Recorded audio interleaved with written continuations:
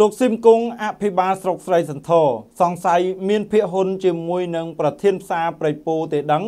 ទើបមិនខ្វល់ខ្វាយពីសុខភាពនិងទុកលំបាករបស់ប្រជាពលរដ្ឋនៅក្នុងមូលដ្ឋាន។ ក្លិនសម្រាមស្អុយរលួយ នៅទីទួលបញ្ចុះសពនៅចំណុចភូមិប្រថ្នល់និងភូមិទូរីលើឃុំប្រៃពោស្រុកស្រីសន្ធរខេត្តកំពង់ចាម បានជះក្លិនស្អុយនិងស្អុយពេញភូមិធ្វើឲ្យមានការរិះគន់យ៉ាងចាស់ដៃពីសំណាក់ប្រជាពលរដ្ឋនៅក្នុងភូមិប្រថ្នល់និងភូមិទូរីលើខណៈពេលដែលលោកស៊ីមគង់ចៅហ្វាយស្រុកស្រីសន្ធរបានរក្សាភាពស្ងៀមស្ងាត់មិនគិតគូរនិងខ្វល់ខ្វាយពីសុខភាពនិងទុក្ខលំបាករបស់ប្រជាពលរដ្ឋនៅក្នុងក្នុងមូលដ្ឋាន មហាជនបានលើកឡើងថា ប្រធានផ្សារប្រៃពោបានឲ្យកម្មករជាបពពួកបានដឹកសម្រាមយកទៅចាក់នៅចំណុចទីទួលបញ្ចុះសពនៅ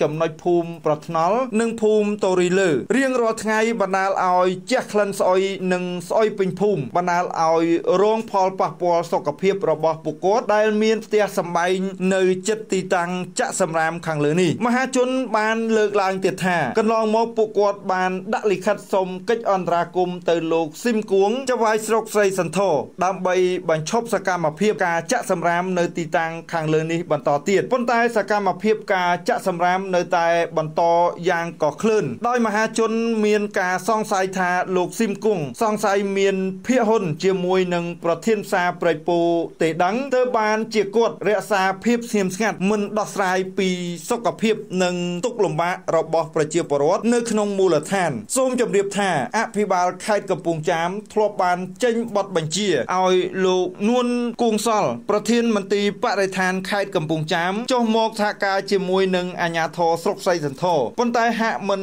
សូវមានប្រសិទ្ធភាពនោះប្រធានមន្ត្រីបរិស្ថានខេត្តកំពង់ចាមលោកនួនគួងសល់បានលើកឡើងថាមន្ត្រីជំនាញរបស់គាត់បានចុះមកសហការជាមួយនឹងអាជ្ញាធរស្រុកស្រីសន្ធរប៉ុន្តែអាជ្ញាធរស្រុកស្រីសន្ធរមិនសូវស៊ីសង្វាក់នឹងគ្នាឬមិនសហការជាមួយនឹងជំនាញបរិស្ថានខេត្តកំពង់ចាមនោះទេមហាជនបានសំណូមពរដល់អភិបាលខេត្តកំពង់ចាម ដើម្បីសូមកិច្ចអន្តរាគមន៍បញ្ឈប់ការចាក់សម្រាមនៅទីតាំងខាងលើពីព្រោះពួកគាត់រងផលប៉ះពាល់សុខភាពធ្ងន់ធ្ងរនិងការរស់នៅប្រចាំថ្ងៃពលគឺសូមមេត្តាជួយដុសក្អែលលោកស៊ីមគង់ចេញផងខណៈដែលគាត់រក្សាភាពស្ងៀមស្ងាត់មិនគិតគូរពីសុខភាពនិងទុក្ខលំបាករបស់ប្រជាពលរដ្ឋនៅក្នុងមូលដ្ឋានម្យ៉ាងវិញទៀតកន្លងទៅព័ត៌មានក៏បានផ្សាយជុំវិញករណីនៃការដឹកនាំរបស់ចៅហ្វាយស្រុកនេះពោពេញទៅដោយបពពួកជាក្រុមគ្រួសាររបស់គាត់ទាំងមូលអាចរាប់ពីក្រោមរហូតដល់លោក